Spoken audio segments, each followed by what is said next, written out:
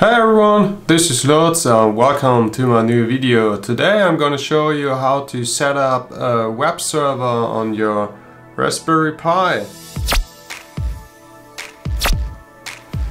So let's go!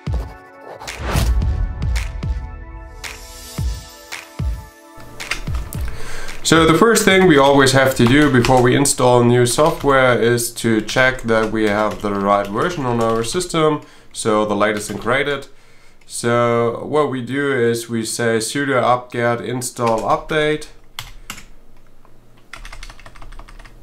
and then we hit enter. In my case I did this previous to this video so I don't need to do this right now. What I need to do now is to install the package of the Apache server. So this is the same command. You say sudo apt-get install and then you say apache 2 and you say yes because you don't want to confirm it again and you give the sudo password and then it starts with the installation. This will take a second and I'll be back when it's finished. So after the installation, the service is already running, so we can go to the file where the website is stored. So this is in here,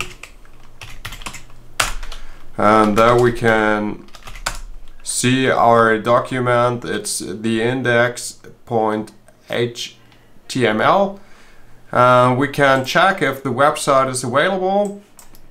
We go for our IP address of the Raspberry and then we see the initial website is here. So next thing what we can do is that we use a nano to change the index file just for showing that it's really working. So we search for the title of the website. The title, the website is a bit bigger.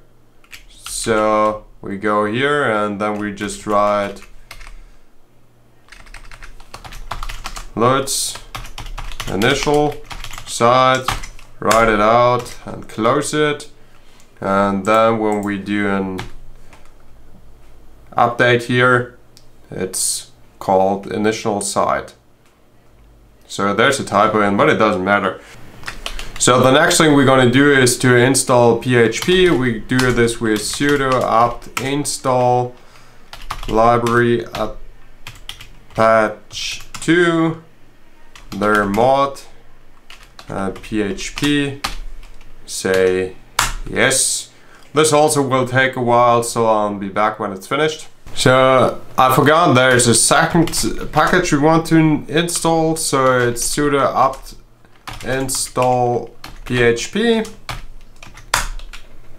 and after this one we are able to use PHP on our web server. So now we can go to the website.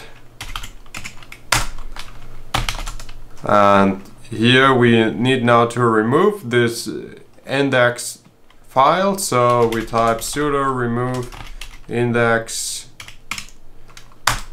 So now it's gone. Not be available anymore and then we make a new one which is index.php and then we type something in like this.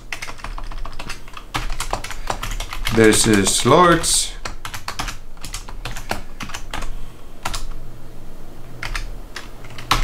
then we write it out.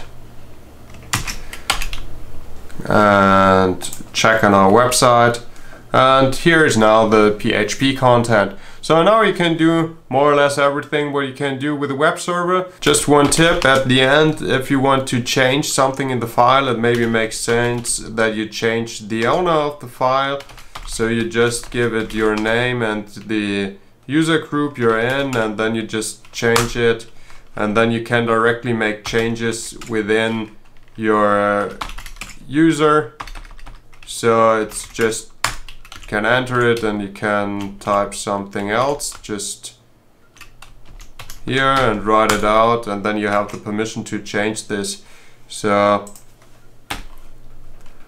So that's all for today. I think that's quite easy to set up a web server on a Raspberry Pi and can help you to your projects.